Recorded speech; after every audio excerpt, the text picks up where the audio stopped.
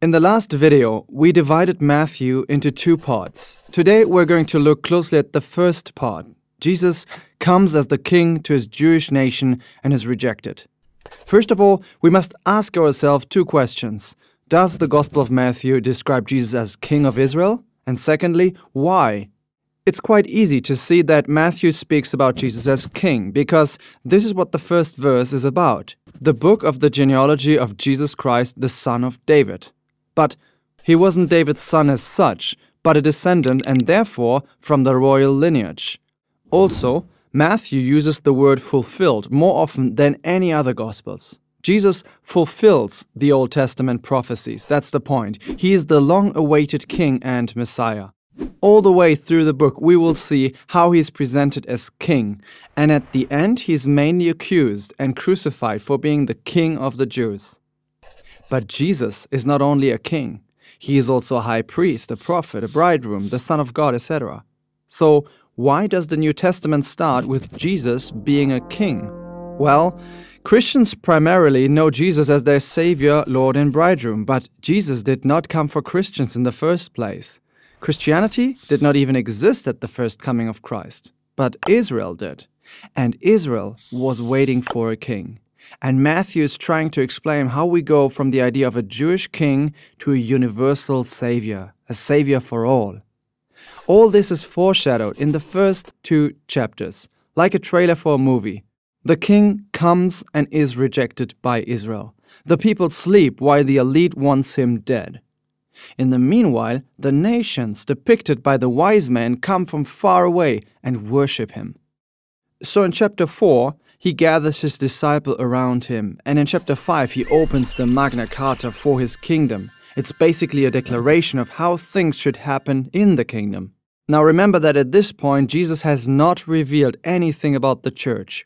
The nations are still complete outsiders to grace. He's only speaking to Jews. And then he heals people, but not randomly. He works messianic miracles. Now, what does that mean?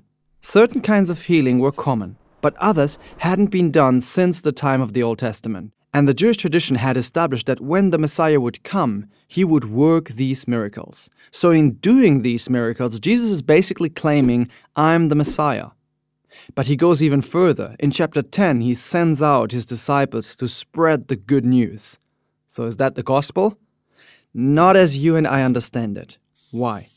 Firstly, because the gospel of the cross is based on the cross. But Jesus had not yet died. Secondly, because the gospel is for everybody. But this gospel was not for everybody.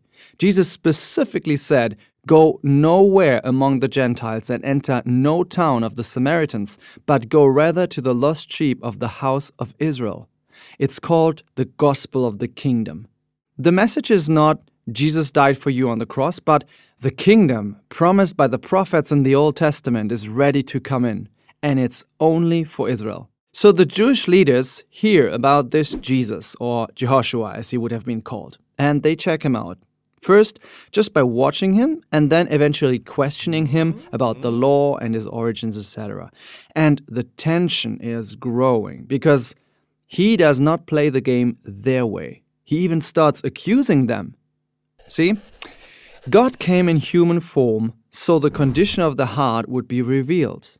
God made it easy for repenting sinners to enter the kingdom and impossible for intellectual, cold hearted Bible scholars. So, then in chapter 11, the majority of those who lived in his hometown rejected him, and in chapter 12, the leaders rejected him and his movement. And then comes a turning point. God puts the David program on hold and starts the Abraham program.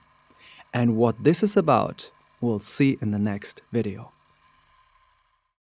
Thank you everyone for watching this video and thank you very much for tuning in here at Crosspaint where we uh, try to ignite a passion in people for Jesus and we think that only the Holy Spirit and the Bible can do this and hence we transform the Bible in little Bible animation videos and we hope you take your Bible and you read it for yourself, um, the wonderful truth that is conveyed in these videos.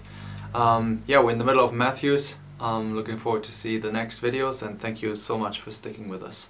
Bye.